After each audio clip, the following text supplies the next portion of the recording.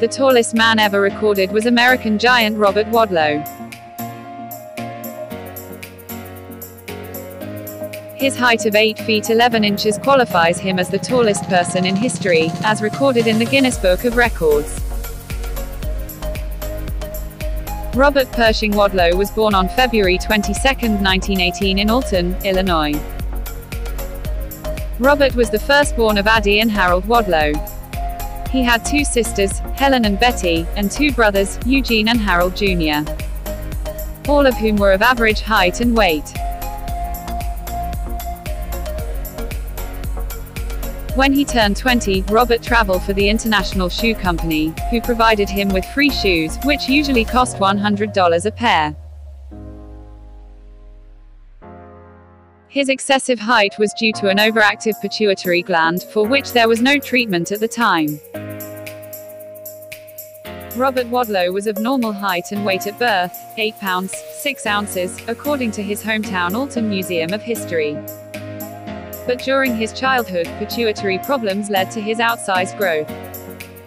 By age 8 he was 6 feet tall, by age 16 he stood nearly 7 feet 10 inches and weighed over 370 pounds.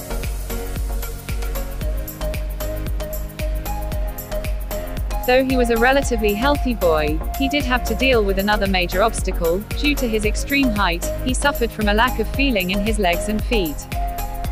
If he did feel anything, it was nothing more than a constant tingling.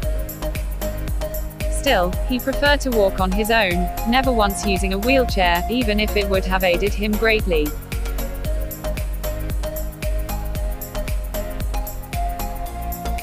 In 1936, Robert Wadlow was noticed by the Ringling Brothers and the traveling circus. The Ringlings knew he would make an excellent addition to their show, particularly when he was showcased alongside the troupe of little people already employed by the circus. Indeed, the tallest man in the world drew a huge crowd, from Madison Square Garden to Boston Garden and beyond, turning him into somewhat of a celebrity. When he wasn't traveling the world, selling shoes or participating in sideshows, the tallest man in the world enjoyed a quiet life. His friends and family remembered him as mild-mannered and polite, earning him the nickname, Gentle Giant. Until his ever-growing limbs began to prevent it, Wadlow was often seen playing the guitar and working on his photography. Due to the lack of feeling in his legs, he didn't notice that the braces were rubbing against his ankle. In 1940, while making an appearance at Michigan's Manistee National Forest Festival, a blister formed that became infected, causing doctors to resort to a blood transfusion and emergency surgery. Unfortunately, his great height also left him with a weakened immune system, and he eventually succumbed to the infection.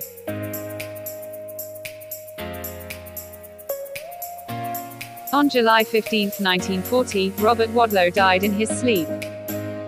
Just 18 days prior, he had been measured for the final time, clocking in at 8 feet, 11.1 inches. His body was laid to rest in his hometown of Alton, Illinois. He was placed in a casket fit for the tallest man in the world. It reached a length of 10 feet, 9 inches, and weighed in at 1,000 pounds. It took a dozen men to carry it out of the funeral, supported by another eight assistants. Thousands of people came out to mourn him. Though he died at just 22 years of age, Robert Wadlow left behind a legacy as large as he was, literally. Erected in 1985, a life-size bronze statue of Wadlow stands in Alton, on the campus of the Southern Illinois University School of Dental Medicine.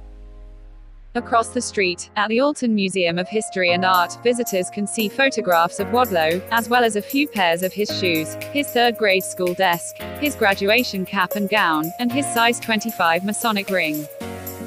Wadlow also holds the record for the largest hands ever, measuring 12.75 inches from the wrist to the tip of his middle finger.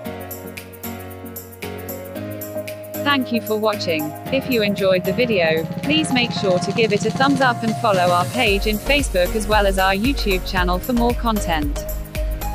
Bye for now.